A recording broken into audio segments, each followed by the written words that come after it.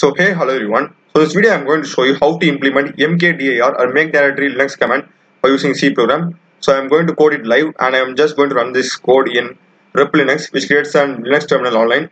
So that's what I'm going to do. I'm going to also give you a live, live demo. So let's get started. So first start with a header file. So it's going to be as include stdio.h as usual and for this uh, mkdir implementation we are going to also use a special header file which is as include system that is sys slash stat dot h. So this is special header file because we are going to control we are going to create a folder basically direct folder director. So it need some special system commands so that are present in this sys slash stat dot h header file. So now let's get started with the basic command line arguments so it's going to be int main so we are going to pass in the form of command line. So int argc that is the argument count and char asterisk argv and array okay? Character array. So int argc means uh, argument count number of arguments and char asterisk ar means the character of character of arguments okay? We are going to show the arguments in the form of a character array. So first thing what we are going to do here is that it's just a simple line of code. We are going to just use an integer variable. So i will put int c. C is going to be a variable. And c equal to mkdir. Same thing okay? Same command linux same thing in the in our c also. mkdir. And our name of our directory. So name of our directory is going to be argument of 1 you may ask me why we are putting a, a argument of 1 instead of argument of 0 that is basically because once we have ran our, once we have run our C program that is by using dot, uh, gcc our file name dot c. To view the output we will be using dot slash error in linux okay? So that dot slash a.out will be argv of 0 zeroth index. So that's also counted. And dot slash a.out after that we will be entering our file name.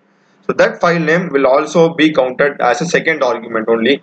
That is index number 1 so first argument will be our dot slash a.out and that is zeroth index. Second argument is the file name or directory name that is argument in number index 1 so that's the trick over here. So that's argv1 and next thing is the permission. So permission is going to be 007 and this why 077 means that so actually it's only triple seven. Zero because mkdir takes in some octal form.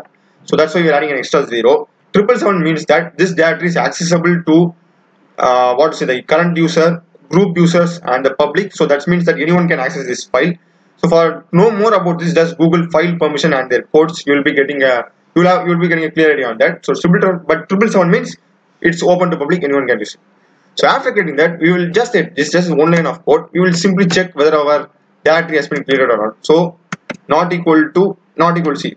Because this returns okay this mkdir will return 0 if our directory has been successfully created.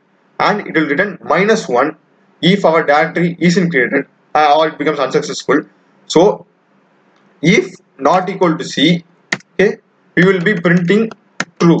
That is true our directory has been created. So it's going to be printf created successfully. And in else part we'll be putting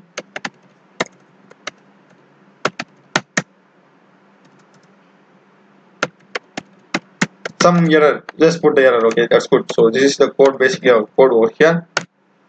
Now those one didn't understand this code.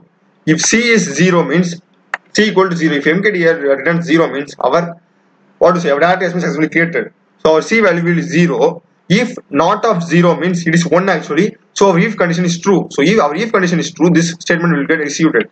And if it returns minus 1 if this mkdir that means our data hasn't been hasn't created successfully so it will throw minus 1 and our minus 1 will be going here. And our if condition will be not of minus 1 so which is false basically. And it will go to else condition. And this printf error will be printf error will be getting displayed. So that's the main basic trick over here.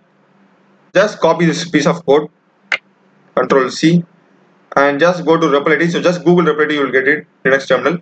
And you will just sign up sign up with your google account or gmail. Just click it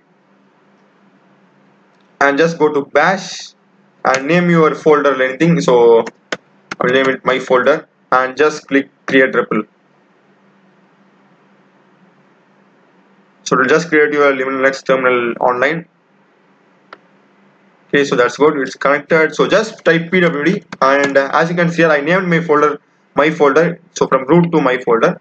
So now let's create a C file C file okay? So it's going to be touch and my pro okay? My pro.c will be name of our C program. Program file. And just go to that file. Just paste our code. And for running our code it's gcc everyone knows know, know it. Gcc file uh, file name that is mypro.c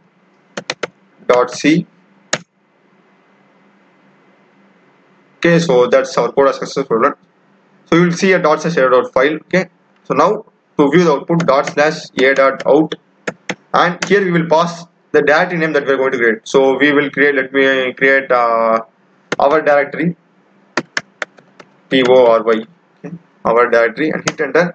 So as you can see here we are successfully created. So it's created successfully. We are getting the output. That means that mkdir isn't 0 and 0 not of 0 is true if print created successfully is printed. And as you can see to the left our directory has been successfully created so you can delete it you can rename it and do anything. So that's it. We have successfully implemented mkdir command by using a c program and i've also run many other linux commands in by using c program head echo copy. So just check out my other videos of my channel and i also run other tutorials in c c plus java blender unity. Kindly check out other video other videos. Subscribe and support me. Thanks for watching